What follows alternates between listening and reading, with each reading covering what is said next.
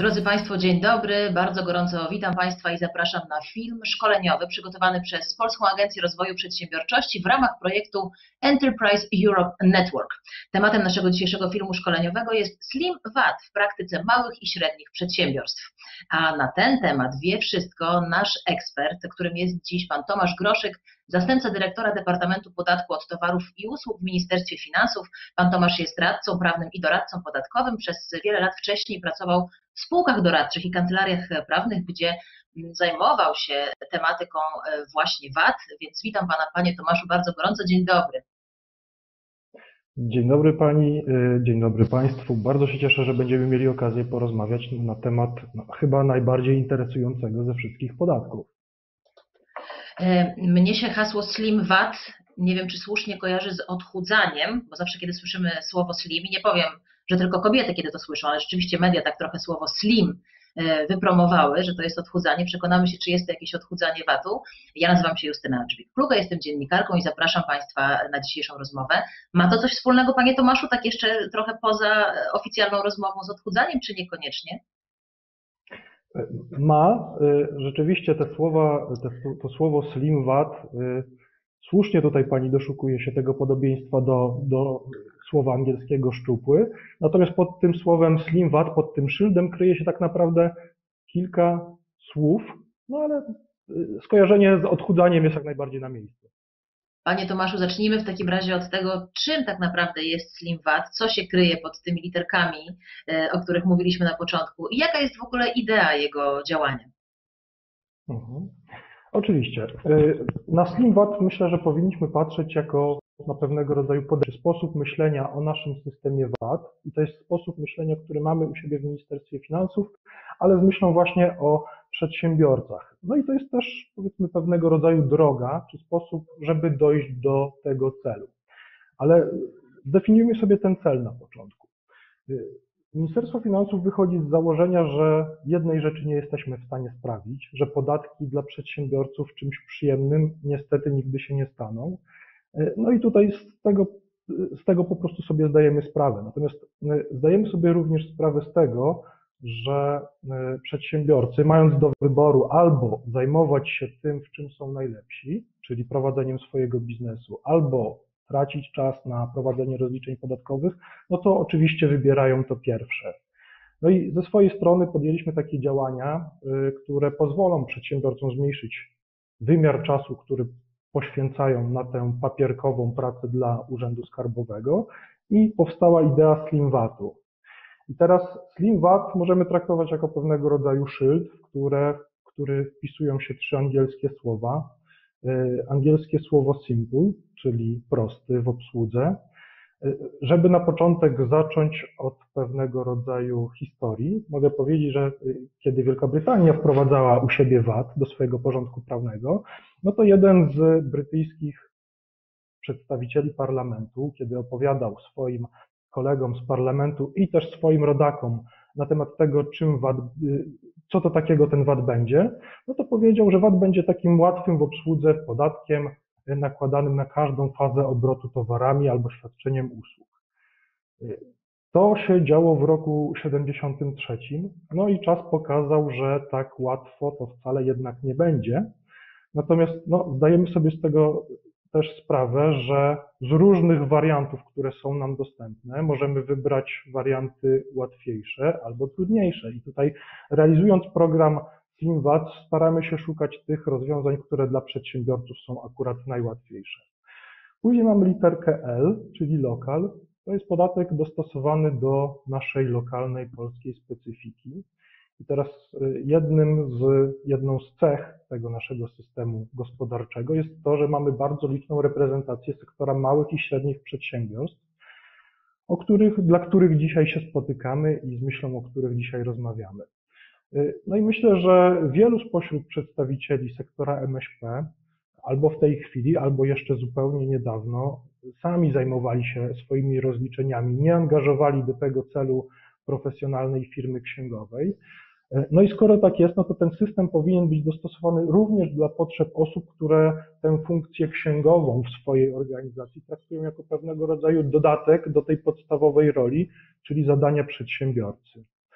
No i mamy literkę M, czyli modern, nowoczesny.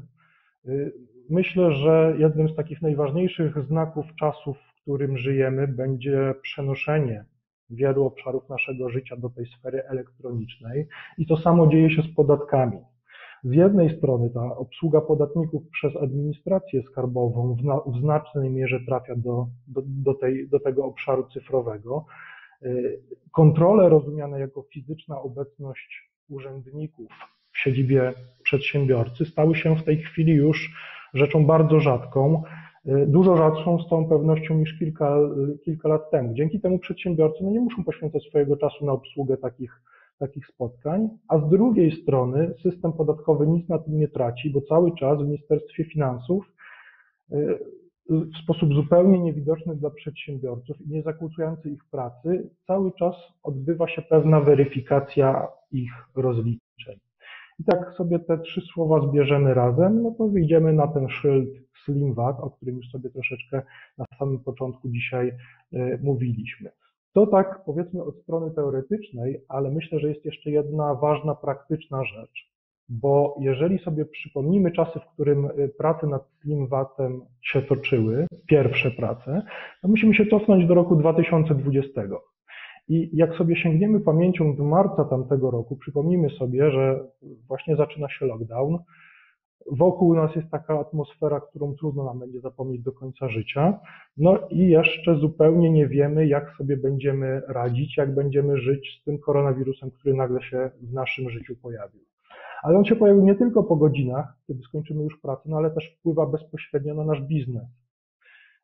Pamiętam bardzo dobrze takich szereg sygnałów, które wysyłały różne firmy. Firmy mówiły nam tak, nasi klienci drastycznie przycięli budżety przewidziane na naszą współpracę. Nawet jak coś już dla nich wykonaliśmy, no to tkwią w takim poczuciu pewnego rodzaju paniki i wstrzymują się dużo dłużej niż zwykle z płatnościami na naszą rzecz. Do tego możemy dołożyć jeszcze zakłócenia w warunkach dostaw naszych komponentów, prawda? I powstaje taka wybuchowa mieszanka.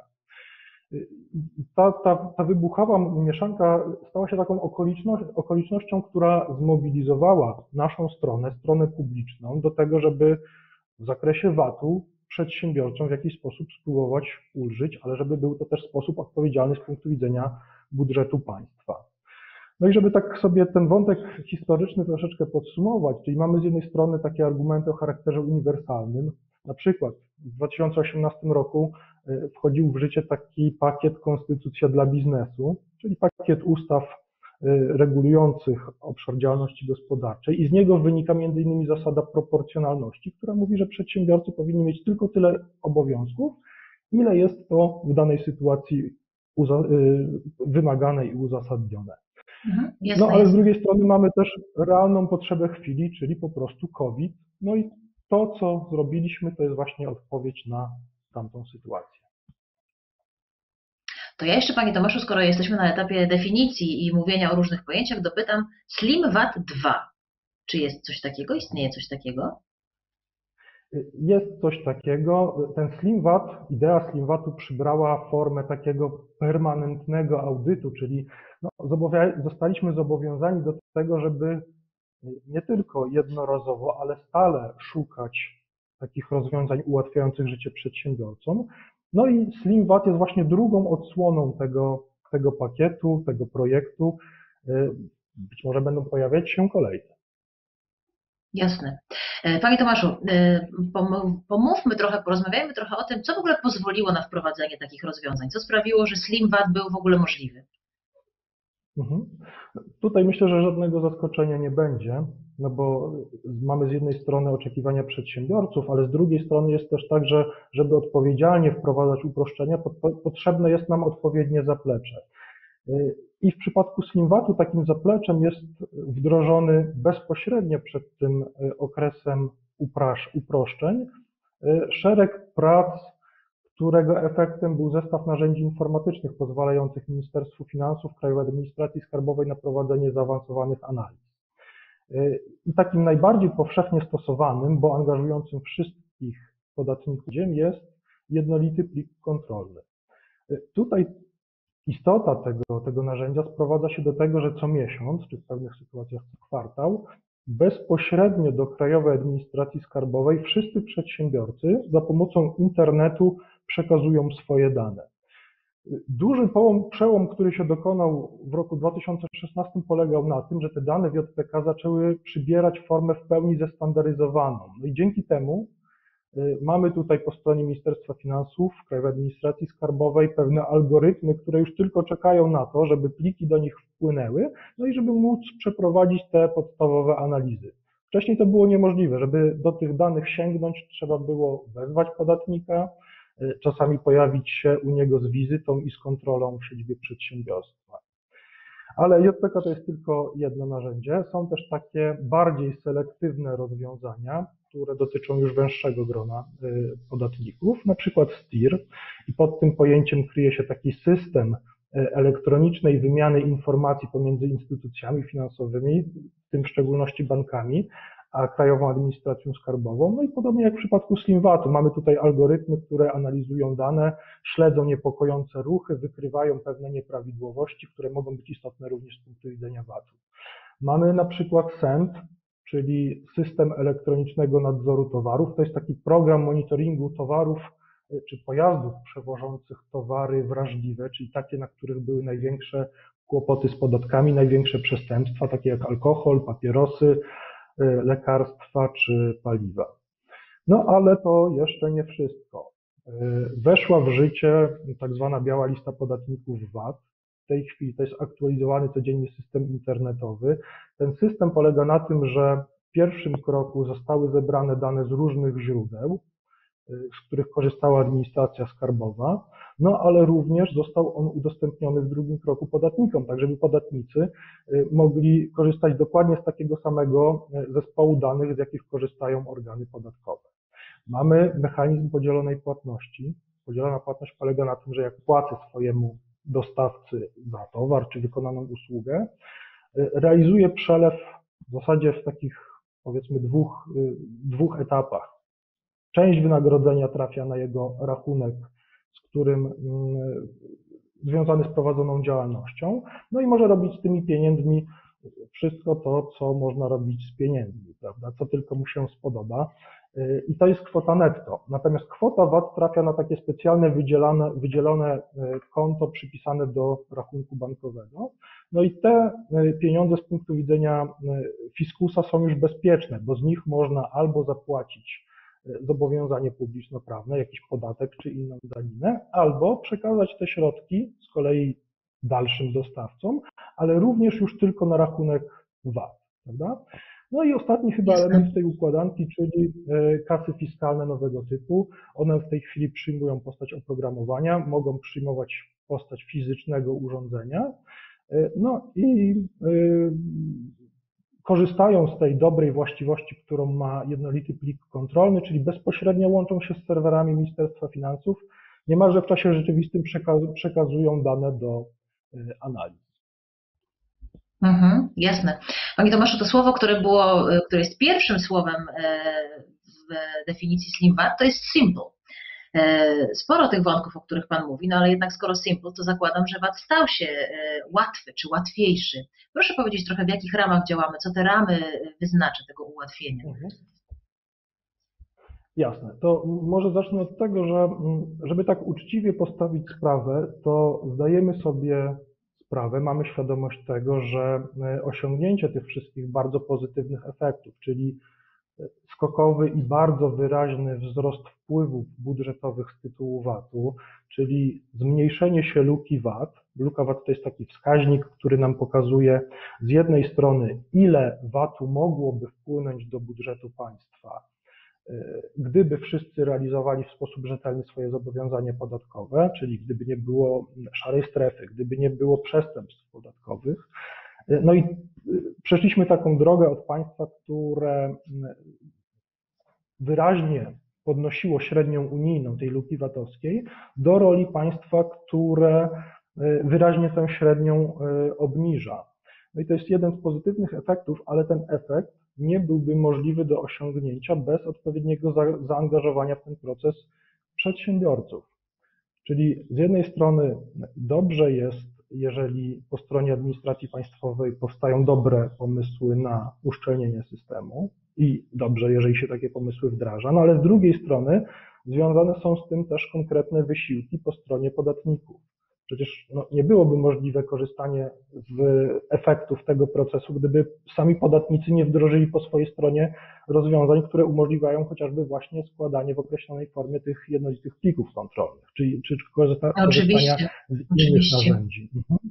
I teraz y, no, z jednej strony pewnego rodzaju wartością jest już to, że kontrole się statystycznie u mnie rzadziej pojawiają, natomiast y, skoro podatnicy wykonali po swojej stronie dużą pracę, no to uważamy, że uczciwie jest móc podzielić się z tymi, tymi osiągniętymi efektami również z nimi poprzez właśnie wprowadzenie pewnego rodzaju y, uproszczeń. No i teraz, żeby y, powiedzmy, spróbować wyznaczyć sobie kilka obszarów, które uznaliśmy za takie, które da się odcią- których da się odci- odciążyć przedsiębiorców, doszliśmy do wniosku, że takim obszarem jest na przykład obszar fakturowania. Są pewne okresy istotne z punktu widzenia y, rozliczania podatku. One mogą być krótsze lub dłuższe. Postawiliśmy na to, żeby te okresy wydłużyć, a przez a w ten sposób, żeby to rozliczanie podatku stało się po prostu dla przedsiębiorców bardzo przyjazne, bardziej przyjazne. Y, Możemy pomóc przedsiębiorcom w utrzymaniu na satysfakcjonującym poziomie płynności finansowej, która w no, obecnych czasach jest bardzo ważna. Y, Możemy poszukać takich obszarów, w których y, po stronie przedsiębiorców mogą pojawić się realne korzyści finansowe. Takich obszarów też kilka udało się zidentyfikować. No i chyba takim ostatnim obszarem, który warto w tej chwili wymienić, to jest kwestia przeliczenia y, kursów walut. Spotykamy się dzisiaj między innymi z myślą o tych naszych rodzimych eksporterach. Myślę, że na ten temat kilka słów będzie do powiedzenia. No, o, o wszystkich szczegółach, wszystkich tych wymiarów niestety y, czasu dzisiaj chyba nie będziemy mieć i można by poświęcić każdemu z nich, myślę, oddzielne spotkanie i też byłoby o czym opowiadać.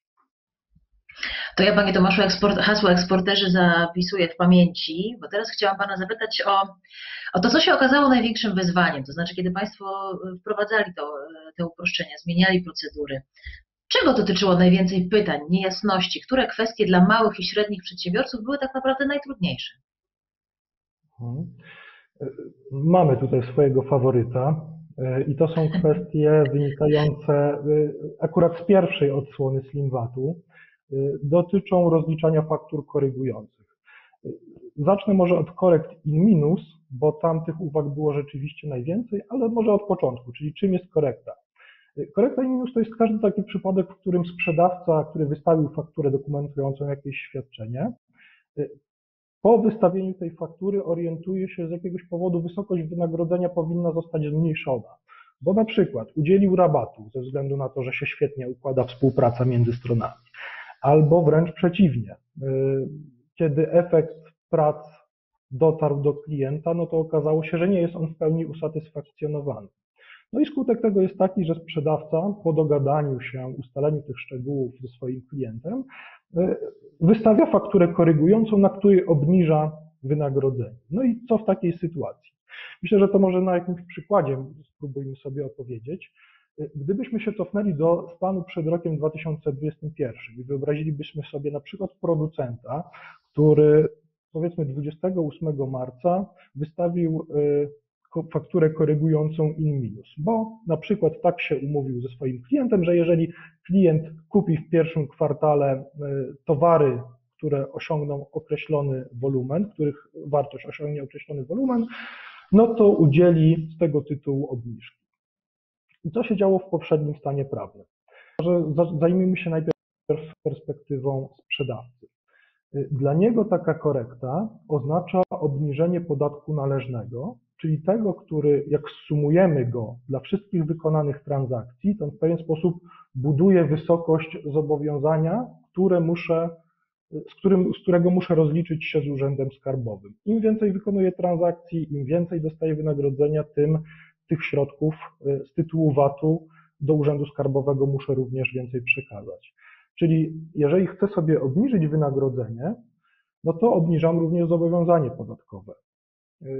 Ten system jest zbudowany w taki sposób, że z perspektywy budżetu y, odpowiedni ruch musi wykonać mój kontrahent, który z kolei odpowiednio koryguje swój podatek naliczony, czyli ten, który jest zawarty w cenach dokonywanych przez niego zakupów, który obniża moje zobowiązanie podatkowe względem Urzędu Skarbowego. I jak było przed, przed Slimwatem? Żebym ja jako sprzedawca mógł obniżyć swój podatek należny i obniżyć swoje zobowiązanie podatkowe tym samym, musiałem wiedzieć, że mój kontrahent, czyli ten, który ode mnie kupił towar lub usługę, ma już sygnał, że również po jego stronie pojawia się obowiązek obniżenia podatku naliczonego, który z kolei zwiększa jego zobowiązanie podatkowe. Czyli mówiąc y, łopatologicznie, musiałem jako sprzedawca wiedzieć, że on, czyli mój nabywca, też już wie. I jakbyśmy do tego przykładu wrócili, y, gdybyśmy mieli tę fabrykę, czy tego producenta, który wystawił fakturę korygującą 28 marca, to co robię? Czekam. Po pierwsze czekam, aż faktura dotrze do mojego kontrahenta. Y, Jeżeli na przykład już następnego dnia by ją dostał, 29 marca, no to nabywca ma już sygnał, że musi dokonać korekty u siebie, zwiększyć swoje zobowiązanie podatkowe. Ale dla mnie jako sprzedawcy to jest ciągle jeszcze za mało. Y, Muszę mieć dowód, że druga strona już wie. I ten dowód w praktyce bardzo często wyglądał tak, że musiałem czekać, na przykład aż poczta dostarczy mi potwierdzenie odbioru przesyłki, do której wrzuciłem tę fakturę korygującą. I teraz, jeżeli byłem na przykład na urlopie, to przykład pewnie mikroprzedsiębiorców, albo z różnych powodów mm, no, nie odbierałem poczty i efektywnie przesyłka do mnie dotarła, to potwierdzenie odbioru, na przykład dopiero 29 kwietnia, czyli miesiąc po wystawieniu faktury, no to dopiero w rozliczeniu za kwiecień jako sprzedawca mogłem obniżyć swoje zobowiązania. Tutaj opóźnienie mogło być również na samej poczcie, prawda? No i niektóre podmioty skarżyły nam się na ten system, mówiły, że to jest przeład, że to nie przystaje do obecnego świata. Wręcz były organizacje przedsiębiorców, które wpisywały sobie to jako jeden z postulatów głównych dla Ministerstwa Finansów, żeby coś z tym zrobić.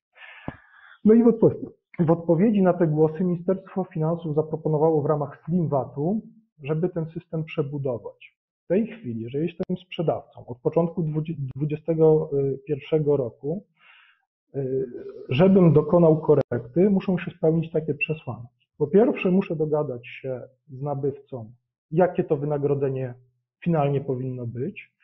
Jeżeli uzależniamy to od, jakiego, spełnienia jakiejś przesłanki w przyszłości, no to ten warunek przewidziany w uzgodnieniu również musiał się spełnić.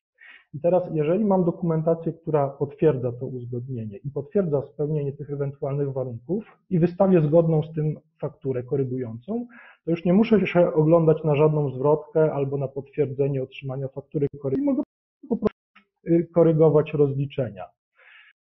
No tak, no to w tym samym przykładzie, gdybyśmy przyszli już do roku 2021, czyli jeżeli 28 marca na jeśli ten sam producent wystawiłby fakturę korygującą i zakładam, że te pozostałe przesłanki też są spełnione, no to on już może obniżać swoje zobowiązanie podatkowe.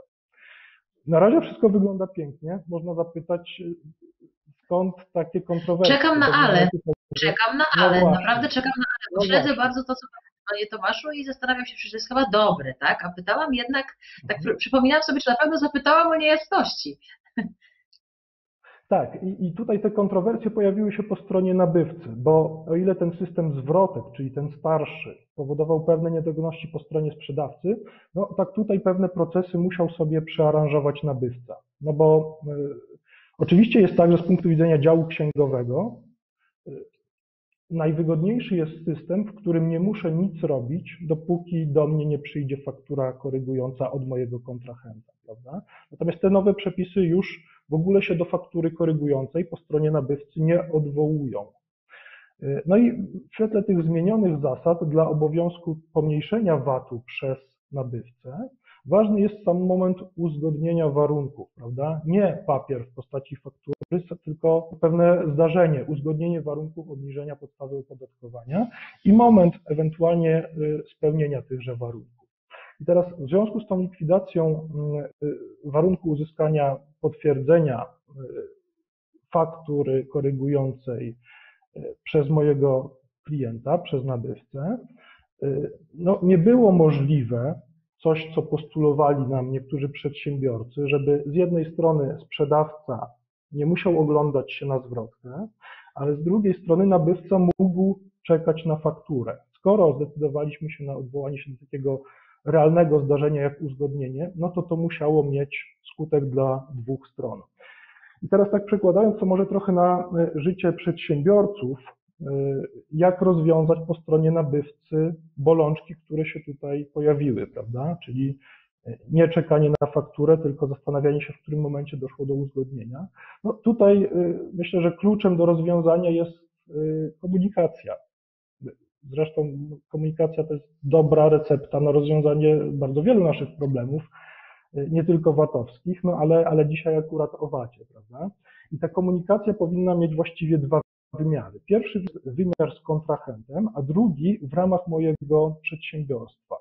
No bo bardzo rzadko jest w praktyce tak, że korekta, obniżenie wynagrodzenia odbywa się gdzieś w próżni, bez żadnej rozmowy, bez żadnego dogadania się, w oderwaniu od jakiegokolwiek porozumienia.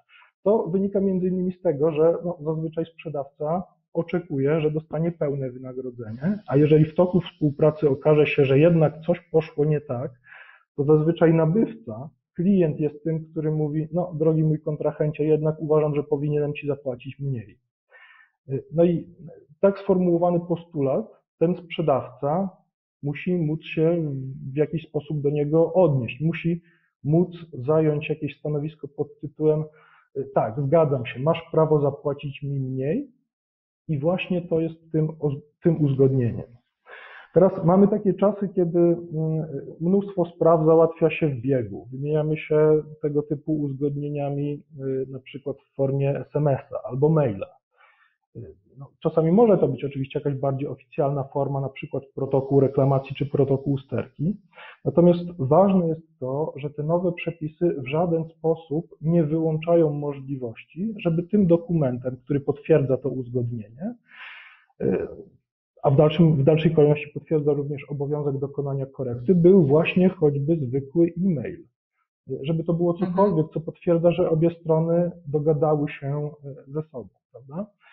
No ale są też warunki takiej trochę trudniejszej współpracy, czyli strony pomimo tego, że ze sobą handlują, no to tak po ludzku nie do końca za sobą przepadają, albo w pewnym momencie, być może w ramach tej współpracy po prostu y, przestały, y, przestały się y, lubić. Natomiast od takiej sytuacji, w której strony za sobą nie przepadają, do takiej, w której w ogóle ze sobą nie rozmawiają, jest jeszcze dość długa ścieżka.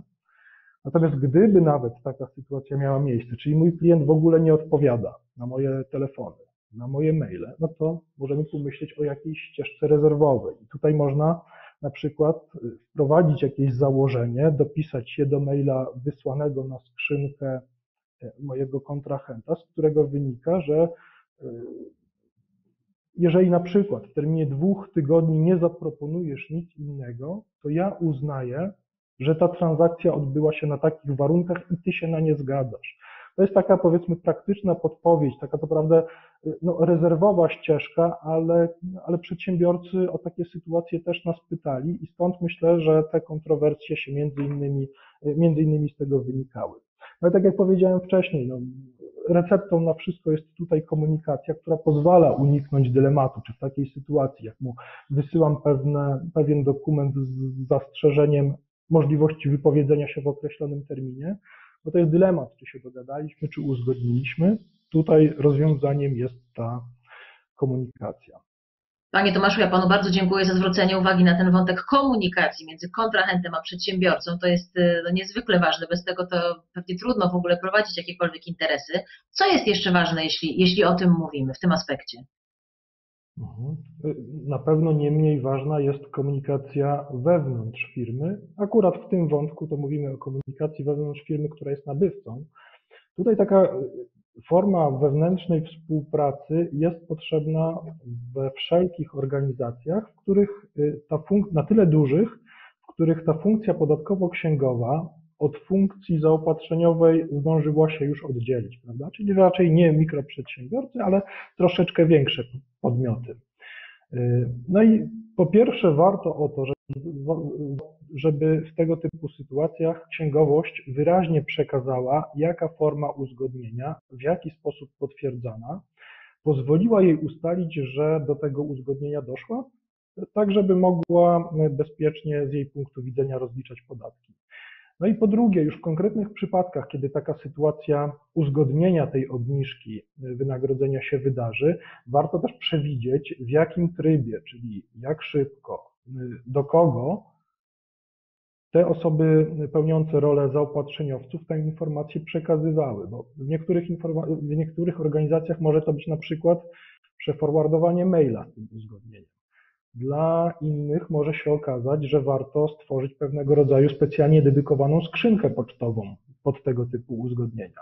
To, jak to sobie poukładamy, no to jest już w zakresie naszych możliwości, naszych nawyków, naszej kultury organizacyjnej. To zależy od naszego przedsiębiorstwa, bo przepisy niczego tutaj nam nie narzucają. Mhm. I teraz y, y, myślę, że w kontekście y, faktur korygujących in minus, to na takie pytania, które do nas cyklicznie się pojawiały, do nas trafiały, myślę, że przynajmniej częściowej odpowiedzi udało się udzielić. Natomiast warto jeszcze poświęcić kilka słów na temat faktur in plus. I może również w tym wypadku skorzystamy z przykładu, bo gdybyśmy sobie znowu wyobrazili producenta albo usługodawcę, który wykonał swoje świadczenie na przykład 28 marca 2019 roku. Później przychodzi maj i okazuje się, że trzeba wystawić fakturę z kolei podwyższającą wynagrodzenie. Y, tutaj znowu powody też mogą być różne, bo na przykład y, zorientowałem się, że ta pierwotna faktura zawierała niższe wynagrodzenie niż ustaliliśmy i to gdzieś tam w natłoku spraw doszło do zwykłej pomyłki, prawda? Może być też tak, że umawiam się ze swoim kontrahentem, y, że jeżeli y, dzięki efektowi mojej pracy z kolei on osiągnie w swoim biznesie lepsze, y, satysfakcjonujące go wyniki, no to z kolei mi będzie z tego tytułu należało się dodatkowe wynagrodzenie. Tutaj tych powodów może być bardzo dużo, natomiast y, w tym wypadku sytuacja jest o tyle ciekawa, że o ile w kontekście faktur in minus, o których wcześniej opowiadałem, mieliśmy przepis, który określał, w którym okresie rozliczeniowym, czyli w deklaracji, za który miesiąc powinienem takiej korekty dokonać, no to w przypadku faktur zwiększających podstawę opodatkowania, dotychczas takich przepisów w ogóle nie było. Y, oczywiście przedsiębiorcy radzili sobie w pewien sposób, wypracowana została pewna praktyka. Y, zgodnie z tą praktyką trzeba było w pierwszej kolejności ustalić, y, jaka była, jaki był powód zwiększenia tego wynagrodzenia. I jeżeli ten powód istniał już wtedy, kiedy była faktura pierwotna wystawiona, na przykład przez przeoczenie po prostu tam jakiejś kwoty zabrakło, no to wtedy taką fakturę korygującą należało ująć w rozliczeniu za ten sam miesiąc, w którym ujęto transakcje pierwotne. W efekcie pojawiła się niewygodna potrzeba korygowania tej historycznej deklaracji. Często pojawiały się również odsetki za zaległość. Jeżeli natomiast było inaczej, czyli mm, tym zdarzeniem uzasadniającym podwyższenie wynagrodzenia, ono pojawiło się później, po wystawieniu już tej faktury pierwotnej, faktura pierwotna na tamten moment była ok, no to taką dodatko, takie dodatkowe wynagrodzenie ujmowało się w rozliczeniu bieżącym bez, bez potrzeby korekty, no i bez odsetek. Czyli mamy dość duży, istotny dylemat, z jednej strony praktyczny, a z drugiej strony też o określonych skutkach finansowych. No i Oczywiście. kłopot, o którym już wspomniałem, polega na tym, że nie ma na to żadnego przepisu i jeżeli jestem przedsiębiorcą, który działa już na rynku przez pewien czas, taką sytuację miałem, wiem już jak się zachować, poznałem tę praktykę. Natomiast jest przecież tak, no i całe szczęście, że tak jest, że cały czas na rynek wchodzą zupełnie nowi przedsiębiorcy z zupełnie czystą kartą w podatkach, którzy jeszcze tej wiedzy nie mają.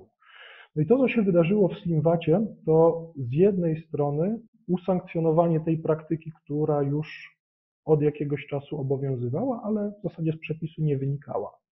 Natomiast y, pojawiła się tutaj również y, kontrowersja, już wynikająca ze stosowania tego nowego przepisu, a nie z samej jego treści. No bo tak, przepis nowy mówi, że obowiązek tej korekty in plus do, powstaje wtedy, w którym obowiązek ujęcia tej korekty in plus w deklaracji powstaje wtedy, kiedy zaistniała przyczyna tego zwiększenia wynagrodzenia.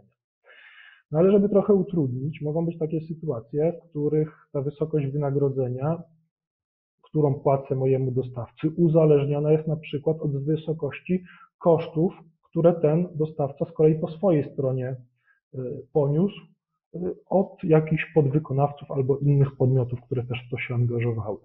No i tutaj w tego typu sytuacjach to, co ma pierwszorzędne znaczenie dla mojej korekty, jest to, co dzieje się w mojej relacji z bezpośrednim kontrahentem. I to właśnie tam należy się doszukiwać w pierwszej kolejności no, zdarzeń powodujących zmianę tego wynagrodzenia. To, to, to jest taka myśl, do której część podmiotów zaangażowanych w rozliczenia podatków, ale i to zarówno organów podatkowych, jak i samych przedsiębiorców, dość długo dojrzewała. Tych sygnałów dostawaliśmy bezpośrednio po wejściu w, życiu, w życie tego przepisu sporo. Teraz od pewnego czasu jest ich na szczęście coraz mniej. No i mam nadzieję, że ten trend się uda utrzymać. Ale jest jeszcze jedna rzecz, i tutaj z kolei część podatników dość długo do niej dochodziła. To jest taka, że ta korekta in plus z przyczyn niezawinionych, czyli ta, która, którą rozliczamy na bieżąco, bez odsetek i tak dalej, nie zawsze oznacza, że właściwym dla jej ujęcia momentem jest ten okres, w którym została wystawiona faktura korygująca. Tutaj może dojść do takiej sytuacji, w którym ta faktura, sprzedawca spóźnia się z wystawieniem tej faktury korekty, bo przyczyna miała miejsce już wcześniej, a dokumentu jeszcze ciągle nie ma. I warto o tym pamiętać, że w tego typu sytuacjach tutaj istotny jest ten moment obiektywnego wystąpienia pewnych okoliczności uzasadniających zmianę, a nie sam dokument. Jasne. Panie Tomaszu, to jeżeli mogę, bo nie wiem, czy to już jest ta chwila, kiedy ja mogę poprosić o coś przyjemnego, to znaczy o dwie rzeczy chciałam Pana poprosić. Po pierwsze, o to, żeby Pan opowiedział, które ze zmian najbardziej przedsiębiorcom odpowiadają, nie budzą najwięcej kontrowersji czy dyskusji, tylko najbardziej odpowiadają. I jakie są korzyści, które wynikają z tych wszystkich zmian, o których Pan mówi, dla małych i średnich przedsiębiorstw? Mhm. Jasne. No to zacznijmy może od tego, że pierwszym takim zagadnieniem, które przychodzi mi do głowy jako to no dość ciepło przyjęte przez, przez rynek, to jest blok zmian dotyczących faktur. Przed chwilą sobie mówiliśmy o fakturach korygujących, no to może jeszcze y, chwilę ten wątek y, będziemy kontynuować. Y, Zanim pakiet Slim VAT wszedł w życie, przepisy przewidywały między innymi taki obowiązek podawania przez sprzedawcę na samym dokumencie y, przyczyny, dla której została wystawiona faktura korygująca.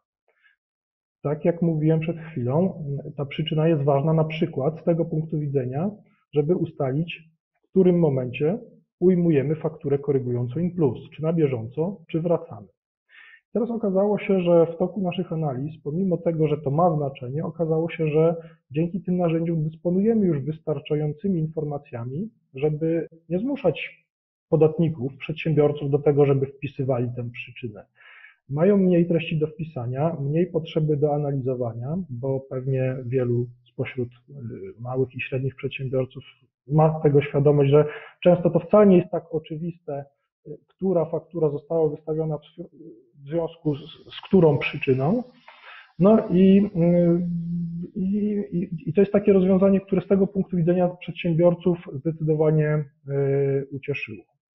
Tutaj te dalsze analizy doprowadziły nas również do wniosku, że przestarzała jest też instytucja duplikatu faktury, czyli takiego dokumentu, który szczególnie był ważny w czasach, których faktury wymieniane, wymieniane były drogą papierową, czy w sposób papierowy. W tej chwili, jak faktura zaginie albo się zniszczy, bo takie są powody wystawiania duplikatów, no to często trudno w ogóle mówić, że wystawiamy kolejny dokument. Po prostu przesyła się jeszcze raz dokładnie ten sam plik, w którym, w którym zawarta była ta faktura e, pierwotna. No i skoro jest tak, że ten obowiązek wpisania oznaczenia duplikat mógł powodowa- powodować praktyczne wątpliwości, a powodował, a jednocześnie już niewiele wnosił pozytywnego, no to doszliśmy do wniosku, że wszystkim będzie lżej i łatwiej, jeżeli taki obowiązek po prostu zniknie. Kolejna rzecz to są pewne rodzaje, pewne kategorie dokumentów, które w systemie VAT mają taką samą doniosłość jak faktura. I, y, czyli powodują, że wystawienie takiego dokumentu już zwalnia z obowiązku y, dalszego fakturowania. Taki dokument ma też identyczny walor dla nabywcy jak faktura, czyli na przykład pozwala na skorzystanie z prawa do odliczenia VAT-u.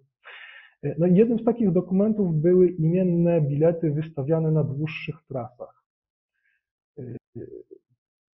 No i w związku z tym postępem, który też tutaj w naszej analityce się dokonał, my zauważyliśmy również, że i tę kategorię można rozszerzyć.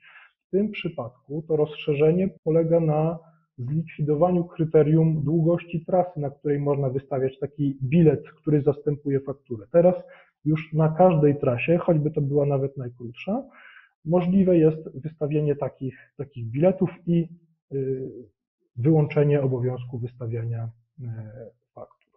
Tutaj też e, dostaliśmy m, głosy z rynku, e, które mówią, że ciepło przyjęto zmiany dotyczące terminów rozliczania VAT-u. Może na początek e, proces realizacji prawa do odliczenia. Do końca roku 2020 sytuacja wyglądała w taki sposób, że żeby skorzystać z prawa do odliczenia, musiałem po pierwsze wiedzieć, że mój kontrahent ma już obowiązek rozliczenia się z fiskusem, natomiast po drugie musiałem otrzymać fakturę.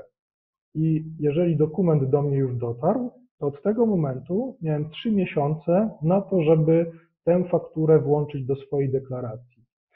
Jak ten czas minął, to nie jest tak, że prawo do odliczenia mi przepadało, natomiast żebym mógł z niego skorzystać, musiałem dokonywać korekty deklaracji, a to oznacza, że musiałem jeszcze raz sporządzić ten dokument. Jeżeli powierzyłem to księgowemu, to zazwyczaj za to jeszcze zapłacić. No i, i, i to powodowało pewnego rodzaju kłopoty. Czyli gdybyśmy na przykład w starym stanie prawnym w lutym dostali fakturę, no to mogliśmy ją ująć na bieżąco w lutym, w marcu i w kwietniu. I teraz w ramach pierwszej odsłony pakietu Slim VAT podatnicy otrzymali jeden miesiąc ekstra, yy, Czyli w tym przykładzie również e, w maju mogą bez potrzeby korekty e, ujmować taką fakturę, taką fakturę e, na bieżąco. I te statystyki, które, statystyki korekt, którymi dysponowaliśmy, pokazywały, że ten czwarty miesiąc w bardzo wielu sytuacjach robi praktyczne znaczenie. Z tego punktu widzenia po prostu ten miesiąc dodatkowy został dodany. A jaki jest ten drugi element, panie Tomaszu, o którym e, chciał pan powiedzieć, związany właśnie z tymi e, miesiącami? Mhm. Drugi element już akurat wynika z drugiej odsłony pakietu Slim VAT. Jeżeli jest tak, że ten okres już wydłużony z 3 do 4 miesięcy nam upłynie, no to przedsiębiorca, tak jak powiedziałem, nie traci prawa do odliczenia, ale cofa się do swojej historii, otwiera deklarację za jeden z miesięcy. Tutaj ten, y, y, ta sprawa polega na tym, że wcześniej, przed Slimwatem, byliśmy związani co do tego miesiąca, który musimy skorygować. Był to ten pierwszy miesiąc, czyli miesiąc, w którym do nas faktura przyszła, a nie żaden y, z kolejnych, czyli, czyli w naszym przykładzie mogliśmy to zrobić tylko w lutym. Natomiast po wejściu w życie drugiej odsłony pakietu SlimWAT mam większe pole manewru, mogę wybrać sobie jeden z tych już nie trzech, a czterech miesięcy. I to się przekłada na realną korzyść. Tutaj jest większe pole manewru w zakresie wyboru korygowanej deklaracji. Oznacza to z jednej strony no, mniej korekt w ogóle. Może się okazać, że spośród tych czterech deklaracji jedną i tak z jakiegoś już powodu odrębnego musiałem skorygować. W przednim stanie prawnym, jeżeli nie byłby to na naszym przykładzie luty, no to musiałem dokonywać korekt dwóch deklaracji. W tej chwili y, mogę sobie wybrać i zrobić wszystko za jednym zamachem. Może być też w praktyce tak, że y, ta deklaracja która wcześniej była wiążąca, czyli ten pierwszy miesiąc, miesiąc otrzymania faktury, zawierała na przykład w sobie wniosek o zwrot VAT-u z Urzędu Skarbowego. Jeżeli tak było, to tak długo jak Urząd Skarbowy analizował taki, taki wniosek, no to ja oczywiście mogłem dopisać do tej faktury coś jeszcze, ale Urząd Skarbowy zyskiwałby dodatkowy czas, czas na rozpoznanie mojego wniosku zaczynałby mu biec od nowa.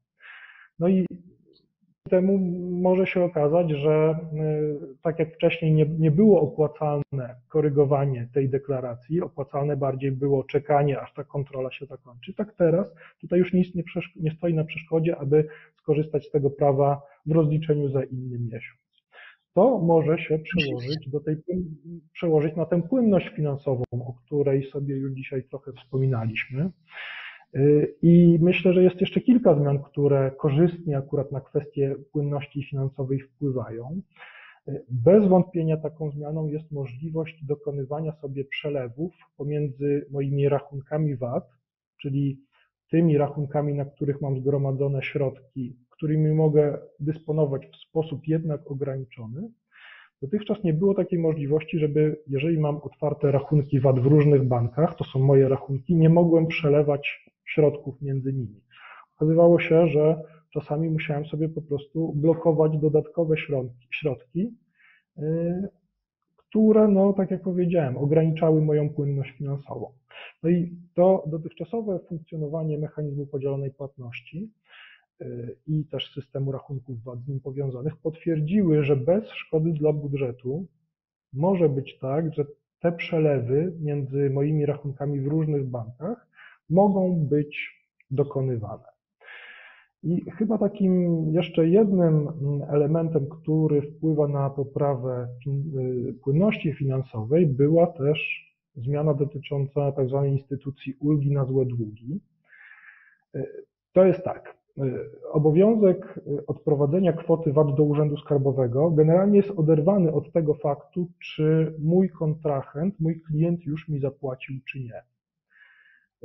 Dla równowagi dodam, że prawo do odliczenia, czyli ta pozytywna odsłona VAT-u, działa na dokładnie tej samej zasadzie. To nie jest tak, że tutaj y, jest y, taka nierównowaga.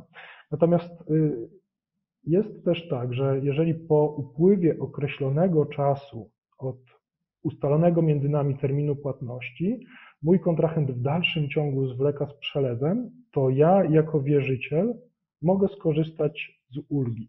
I ta ulga polega na tym, że obniżam sobie swoje zobowiązanie względem Urzędu Skarbowego i obniżam je o kwotę VAT-u z tytułu tej transakcji, która do mnie nie została uregulowana, której kontrahent mi nie zapłacił. Dotychczas było tak, że dotychczas, przed wejściem w życie pakietu Slim VAT, było tak, że to prawo przedawniało się po upływie dwóch lat. Natomiast pakiet Slim VAT pozwolił na sięgnięcie do wierzytelności starszych o jeszcze jeden rok.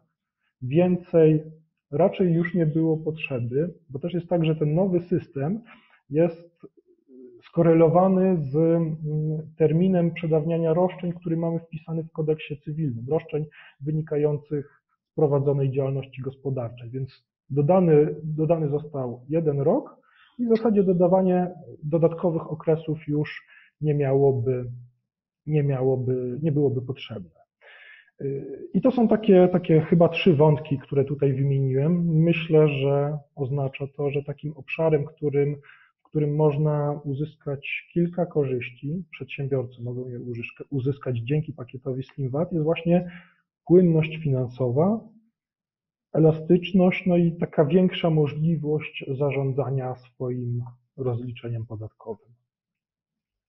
Zapowiedzieliśmy, że pojawi się wątek eksporterów i ja myślę, że to jest dobry moment, żeby o tym wspomnieć w paru słowach. Jakie korzyści z wprowadzenia tego pakietu Slim VAT m, mają właśnie te małe i średnie przedsiębiorstwa, które zajmują się eksportem?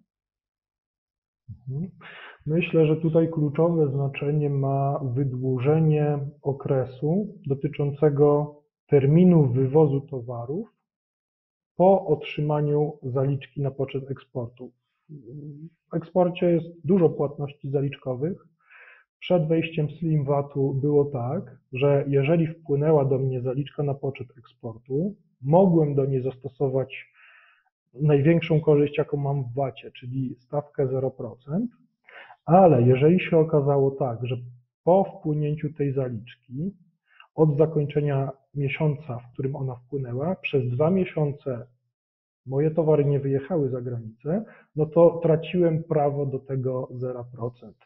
I teraz zgodnie z tymi nowymi e, przepisami ten okres dwumiesięczny został wydłużony. I to został wydłużony dość znacznie, bo w tej chwili mogę nawet w ciągu 6 miesięcy od wpłynięcia zaliczki wywieźć towary, żeby ta stawka zero dla zaliczki została, e, została zachowana. I tutaj wiemy na pewno i wiemy to bezpośrednio od eksporterów, że takie rozwiązanie pozwala na zastosowanie tej preferencji no, w zdecydowanie większym liczbie przypadków niż, niż było to dotychczas, a tym samym no, mam nadzieję, że mm, przyczynia się też to w dobry sposób do poprawy konkurencyjności tych naszych y, rodzimych firm i naszych małych, średnich eksporterów.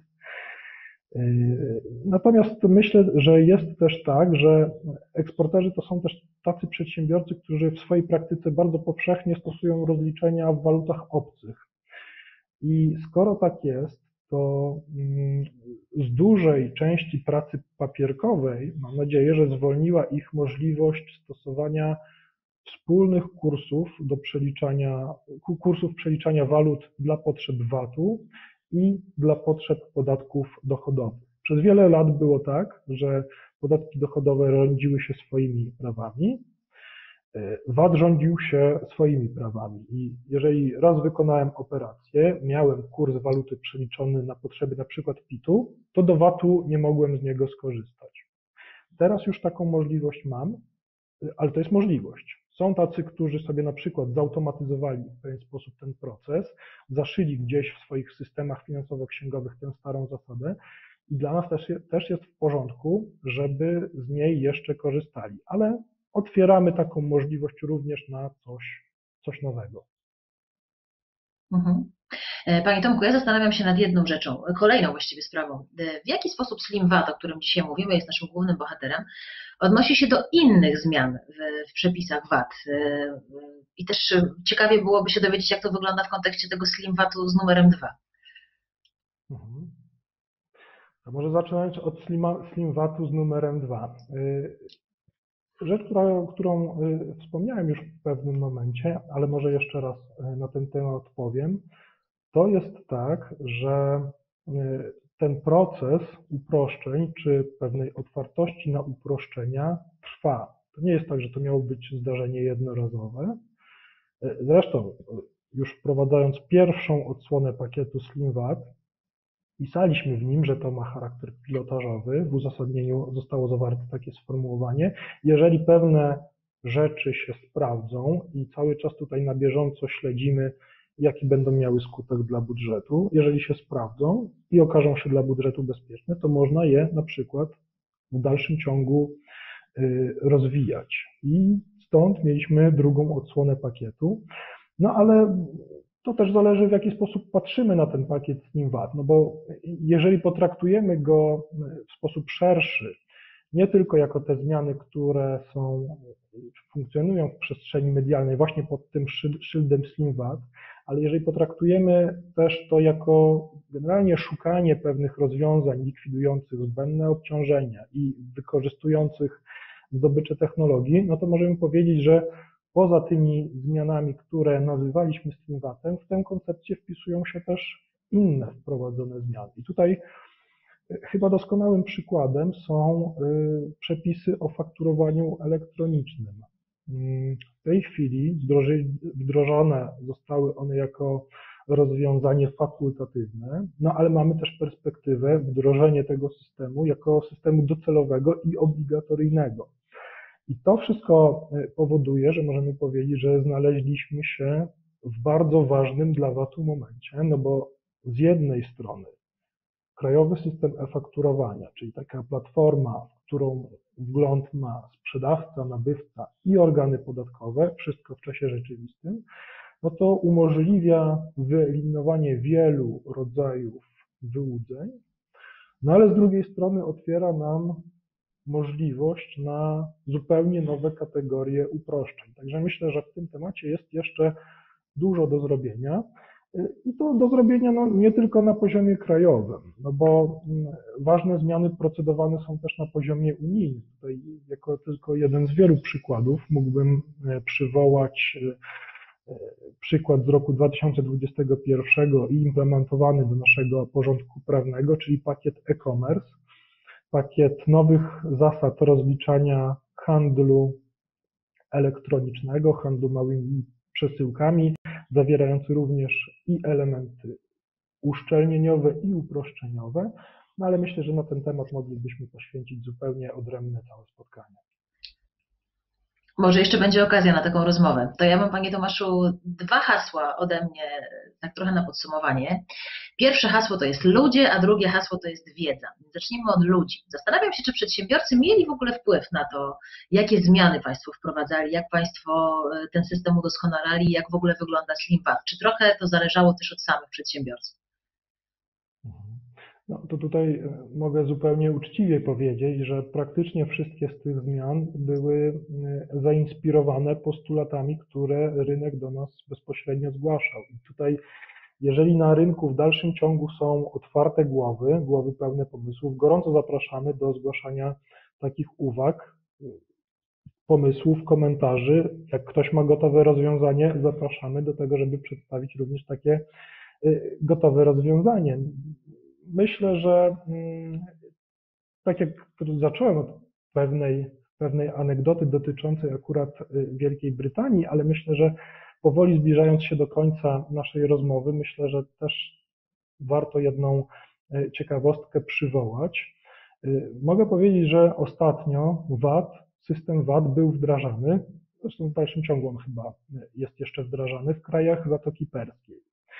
No i przy tej okazji dwóch naukowców z jakiegoś amerykańskiego ośrodka naukowego przedstawiło koncepcję, która zrobiła na mnie na przykład piorunujące wrażenie, bo była to koncepcja zaangażowania czegoś w rodzaju kryptowaluty stosowanej dla potrzeb rozliczania VAT. Można w cudzysłowie powiedzieć y, o VAT-coinie i ten VAT-coin mógłby umożliwić tym krajom arabskim zapobiegnięcie tym wszystkim, tych wszystkich naszych bolączek, z którymi na przykład w europejskim VAT-ie przez kilkadziesiąt lat się e, mierzyliśmy. Ja oczywiście nie chcę tu przesądzać, że to jest kierunek, w którym będziemy szli i że VAT-coiny w Polsce też się pojawią. Zresztą nawet chyba kraje arabskie ostatecznie w tym kierunku nie poszły, natomiast to pokazuje, jak wiele różnych ciekawych perspektyw można w odniesieniu do VAT-u mieć.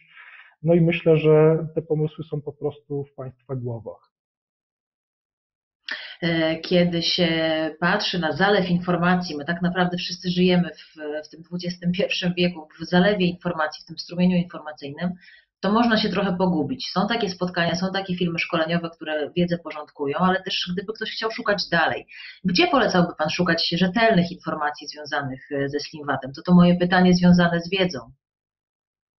Mhm. No, w pierwszej kolejności zapo, zachęcam do zapoznania się e, z objaśnieniami podatkowymi. To jest tak, że od jakiegoś czasu Ministerstwo Finansów zdecydowało się na taką strategię, żeby każda duża zmiana podatkowa była podawana, przedstawiona w towarzystwie pewnego rodzaju objaśnień podatkowych. To jest taka instytucja, która, z której wynika też realna moc ochronna dla, dla przedsiębiorców. No i tak samo jest w przypadku poszczególnych odsłon pakietu Slim VAT. Tutaj można powiedzieć, że tam do tych objaśnień, a objaśnienia mogą Państwo znaleźć po prostu na portalu Ministerstwa Finansów, tam ta wiedza, myślę, jest najlepsza, najpewniejsza i taka u źródła. Na co jeszcze zwracam uwagę? Również te objaśnienia, nie tylko same przepisy, również objaśnienia podlegają procesowi konsultacji. W związku z tym, niezależnie od tego, ile by tych odsłon ułatwień jeszcze było, czy jakichkolwiek innych niż ułatwienia zmiany, zapraszamy do tego, żeby brać udział w konsultacjach nie tylko samych przepisów, ale również tych objaśnień. Świetnie. Panie Tomaszu, ja Panu w takim razie pięknie dziękuję za Pańską wiedzę, której dzisiaj dostaliśmy od Pana, naprawdę soczysty pakiet. Przypomnę, że e, nasze dzisiejsze spotkanie, nasz film został przygotowany przez Polską Agencję Rozwoju Przedsiębiorczości w ramach oczywiście projektu Enterprise Europe Network, e, szkoła dla e, eksportera. Zapraszamy Państwa gorąco do obejrzenia pozostałych filmów, które dla Państwa przygotowaliśmy, a dzisiaj gościem, ekspertem tego spotkania był oczywiście Pan Tomasz Groszyk, zastępca dyrektora Departamentu Podatku od Towarów i Usług w Ministerstwie Finansów. Panie Tomaszu, nisko się kłaniam, serdecznie dziękuję i mam nadzieję do zobaczenia.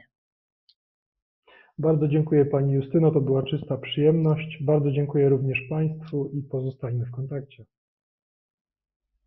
Do zobaczenia.